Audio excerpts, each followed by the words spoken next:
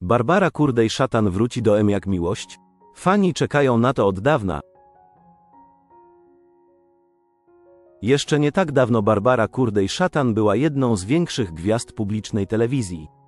Po pamiętnym skandalu musiała pożegnać się z pracą, w tym również z rolą w M jak miłość.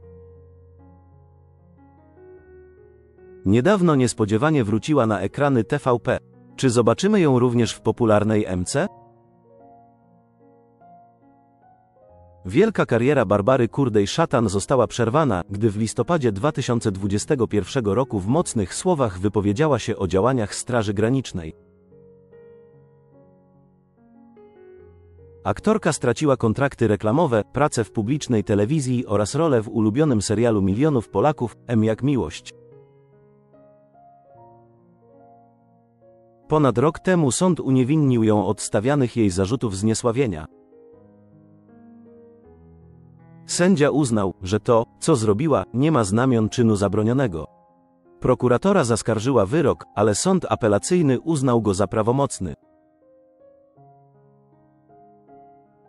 Po pozytywnym dla aktorki wyroku zaczęła powoli wracać do łask branży. Wystąpiła m.in. w jubileuszowej edycji programu Twoja twarz brzmi znajomo. Po zmianie władzy mówiono, że jej ponowne pojawienie się w TVP jest jedynie kwestią czasu. I tak się stało kilka tygodni temu. Barbara Kurdej-Szatan po trzech latach przerwy ponownie pojawiła się na antenie telewizji polskiej. Wraz z mężem Rafałem Szatanem poprowadziła wyjątkowy koncert Nie ma jak u mamy. Barbara Kurdej-Szatan ponownie w M jak miłość?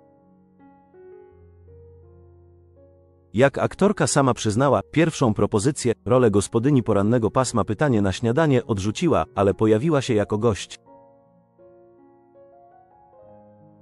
Podobno poprowadzi za to inny program.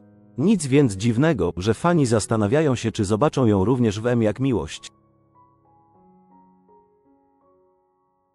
Wiadomo, że wątki serialowych postaci rozpisane są do końca roku. Widzowie lubili jej postać, więc wszystko jest możliwe, ale na pewno nie w tym roku, donosił niedawno informator Pudelka. Co na ten temat uważa sama zainteresowana? W rozmowie z faktem wyznała, że wszyscy pytają ją o M jak miłość, a ona od dawna nie ma kontaktów z produkcją serialu. Dodała, że na razie nie będzie resz mówić o innych projektach, bo nic nigdy nie jest do końca pewne. W ogóle nie mam kontaktu z produkcją, więc tutaj nigdy nie było żadnych rozmów. A o innych projektach nie będę na razie mówić, póki nie jestem na planie, bo po prostu na razie nie mam o czym mówić. Stwierdziła aktorka.